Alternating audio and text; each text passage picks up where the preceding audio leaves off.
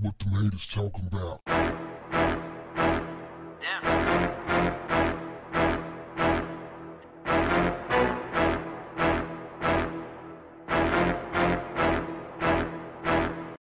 What's up, family?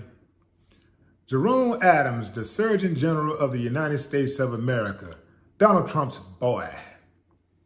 He fixed his mouth to say some rather condescending words aimed at blacks and other people of color, specifically Hispanics.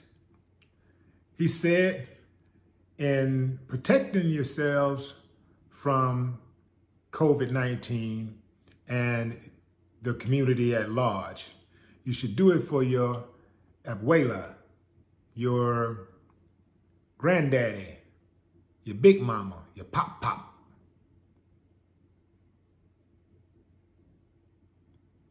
Now, we know that at least that they are reporting that black people are disproportionately dying from COVID-19 and disproportionately uh, being infected by COVID-19. But for dude to specifically just say black folks as if COVID-19 go looking for black people or Hispanics. COVID, I'm, I'm COVID-19. Where's the black people? It's very important to note that the reason why they're saying that the numbers are higher for black people is because black people have pre-existing conditions oftentimes, like high blood pressure, hypertension, and diabetes. But what they are not telling us is that they are discriminating against black people at many of these so-called health facilities. Yeah, you're gonna tell the truth, tell nothing but the truth. And look, you don't even need a camera to go in there and see. You already know how it goes.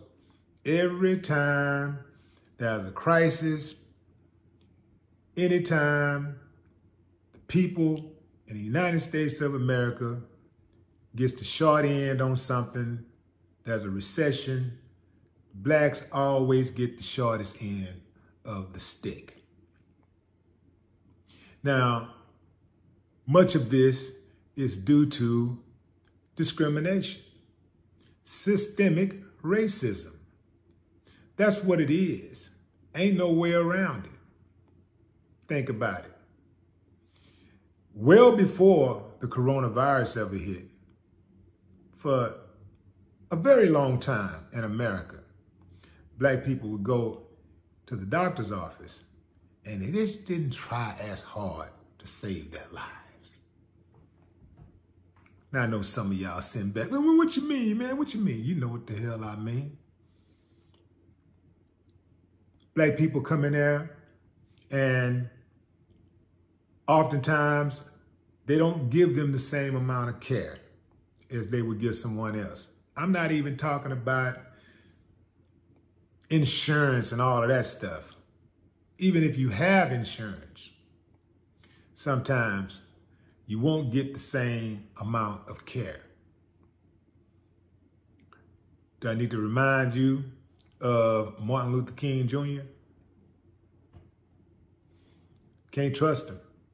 This is why if I ever go to the hospital, I need somebody in there with me at all times. Need somebody in there that I trust with me at all times. I do not trust them one bit. And then what they're doing in China, kicking black people out of their homes, out of the hotel rooms, putting them out on the streets. I mean, people can't even get out of the city. They can't get out of the country because the airports are locked down. They're closed. So even the people that got money to get out can't get out. They're just out on the streets. And I guess the plan is to let them die because a memo went out, from what I understand, to all Chinese people to refuse them services, meaning that if they try to go in the store and buy them something to eat, they can't even buy anything to eat. They're trying to starve them out. It's like they want them to die. Just got them out in the streets, exposed to the elements and just basically waiting on them to die. You never know.